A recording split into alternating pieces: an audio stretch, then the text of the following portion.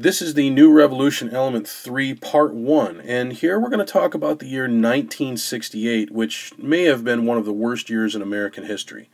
Now, the 1960s were very difficult at home, and they were very difficult abroad as well, but 1968 really marks a turning point in the whole process, both in Vietnam and at home. And it really starts with what you see in front of you here the Tet Offensive.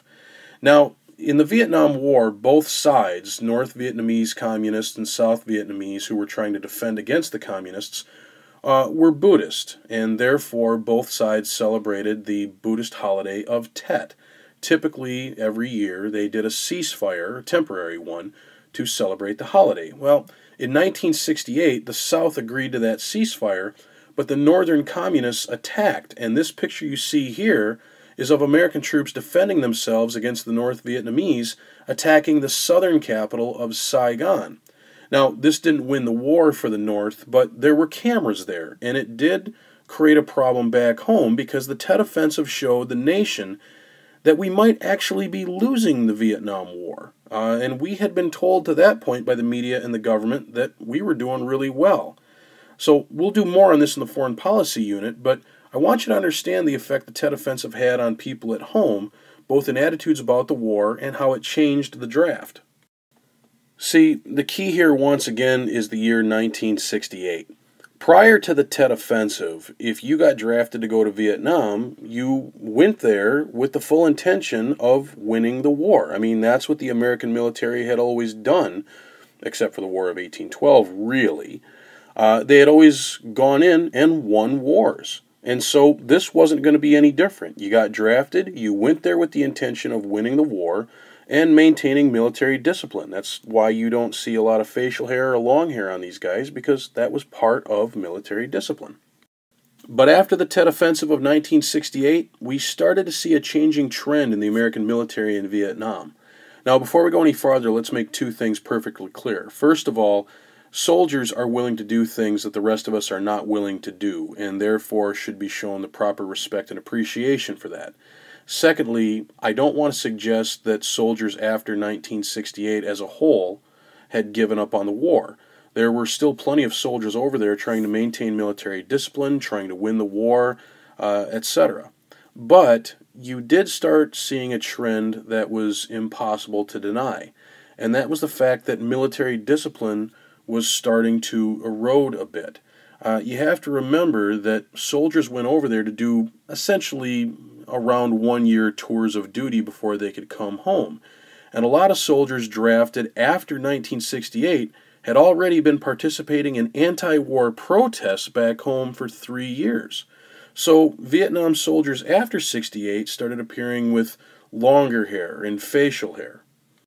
You started seeing soldiers with peace symbols on their helmets and phrases like war is hell written on the helmet, or carrying a pack of cigarettes, or wearing a, a beard or a mustache or long hair. Uh, these were things that traditionally you hadn't seen in the American military. And given that a lot of the soldiers being drafted after 68 had been protesting the war at home already, it started pointing to this idea that maybe discipline was starting to lack with some of the troops. Not all, but some.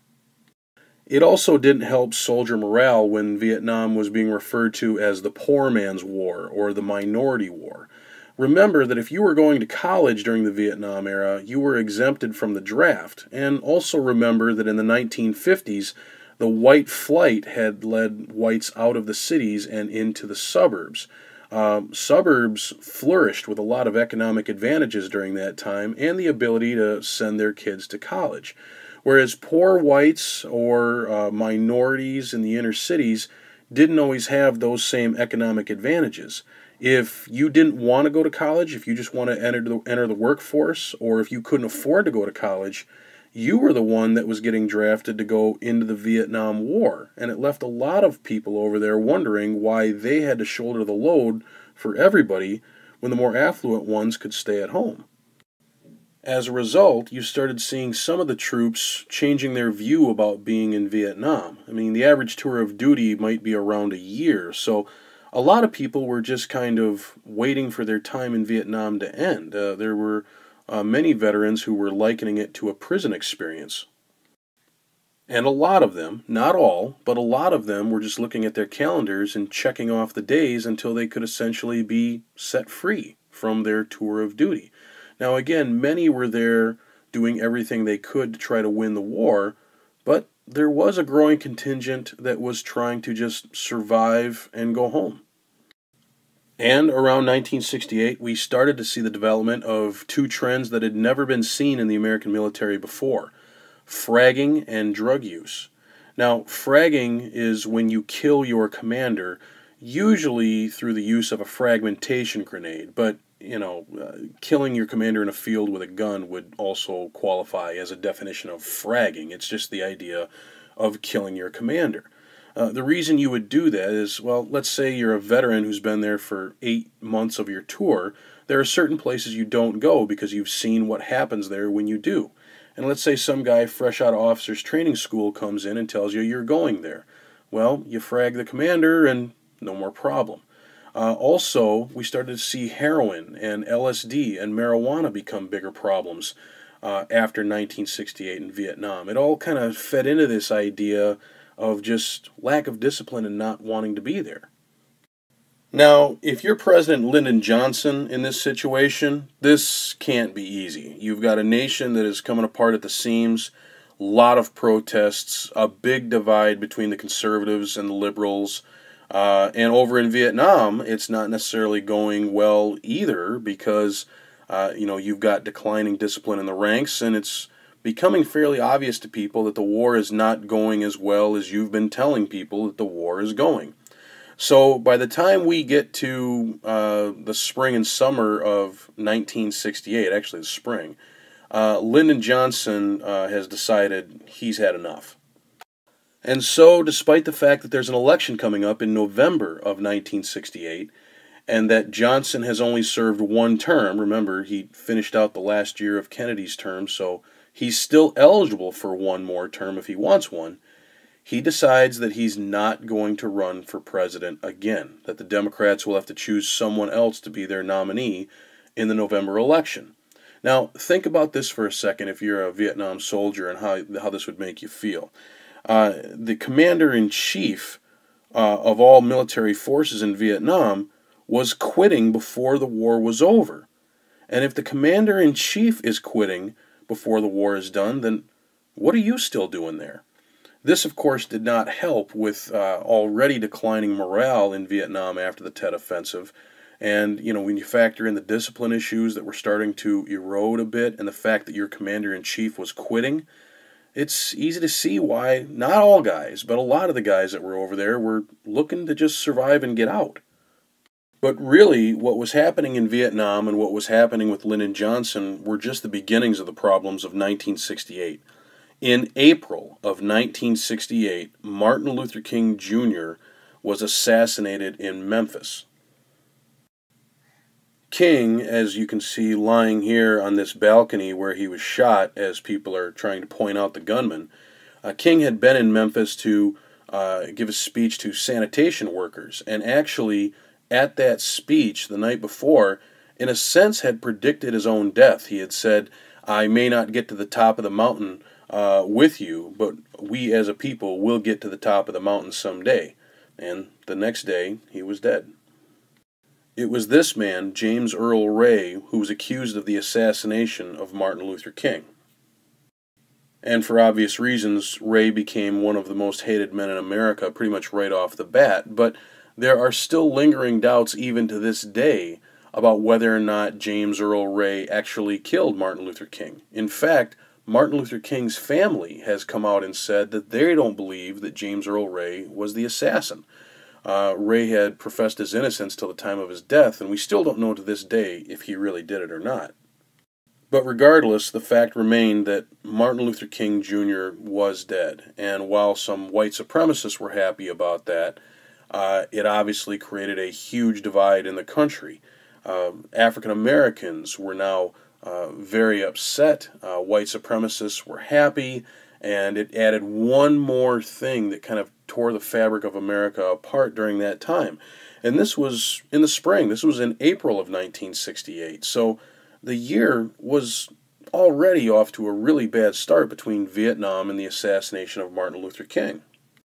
And then, almost inexplicably, the situation got worse. Remember that Lyndon Johnson had said that he was not going to run for president again in the November 1968 election. So the Democrats needed to find a new candidate, and they ran a series of primary elections among a bunch of Democrats to decide which one of those Democrats was going to be their nominee. Well, Hubert H. Humphrey had won some primary elections, as they were called, in various states, and George McGovern was making some inroads as well. But coming on strong was Robert F. Kennedy, the younger brother of John F. Kennedy. Now, Bobby Kennedy had been the Attorney General for uh, John F. Kennedy back when he was in office, and, and again was coming on strong as a potential Democratic nominee for president in 1968. But after winning the California primary, Bobby Kennedy was shot in the head, just like his older brother had been back in 1963. He was struggling to survive at first, but it was obvious that he wasn't going to make it. The man who shot him was this guy right here, Sirhan Sirhan. Kennedy had been giving his speech and holding his victory party in a hotel and was actually done with the speech, thanking everyone, and was ducking out a back entrance of the hotel through a kitchen when this guy just jumped out and shot him. Now, this assassination took place in June of 1968, uh, and it may have been the event that, in terms of despair and anxiety, took the nation over the top for that year. Bobby Kennedy was shot in the head and assassinated, just like his beloved older brother had been shot in the head and assassinated only five years earlier. And when you factor this in with the fact that we have the Tet Offensive that is creating doubt in the war, and people getting drafted in the war that may not want to be there, and the assassination of Martin Luther King that already took place in April of 1968. By the time you get to June and Bobby Kennedy gets assassinated, we're not even halfway through the year fully yet, and already it's been one of the worst years in American history. And it also has to make you stop and take a look at the 1960s as one of the most anxiety ridden decades in American history overall, not just the year 1968 when you consider that John F. Kennedy had been assassinated in 1963, civil rights leader Malcolm X had been assassinated in 1965, Martin Luther King had been assassinated in April of 1968, and now with the assassination of Bobby Kennedy in June of 1968, that's four major American cultural figures assassinated in five years. I can't think of another time period in American history where that's taken place. I mean, think about that now. If we had one assassination in the modern day, what that would do to the country, whether you like the person or not. If a major leader gets assassinated, it has a anxiety-ridden cultural ripple effect through the nation. Imagine if that happened to four people in five years in modern America. And then, by the late summer, there were even more problems as the nation was coming apart in 1968. By the time you got to the Democratic National Convention, where they were supposed to announce who their nominee was going to be for president, protest riots started happening outside of the convention hall. Now, this was in Chicago, Illinois, in 1968. As a result, the police were called out, and many of the protesters were beaten and tear gassed and also arrested. Uh, but it wasn't like the police were out of danger either. There were a lot of police that were getting attacked by mobs during that time, while inside at the Democratic National Convention, they were trying to figure out who the guy was going to be that was going to run for president for the Democrats now that Lyndon Johnson was no longer their candidate. All in all, by the time you get to August of 1968, it's already been one of the worst years in American history. In fact, in terms of major events of 1968, there's really only one thing, as far as I'm concerned, that went right. The Apollo 8 mission on Christmas Eve 1968 circled the moon and got us this cool picture right here called the Earthrise, as opposed to a sunrise or a moonrise. Uh, no space mission in history at that point, whether it be American or Soviet, had taken place outside of the Earth's atmosphere, so this was a large leap ahead of the Soviets in the space race. So there was that. Well, that and the fact that the Tigers won the series that year, so I don't know. Maybe 1968 wasn't so bad. Anyway, that's it. Thanks for listening.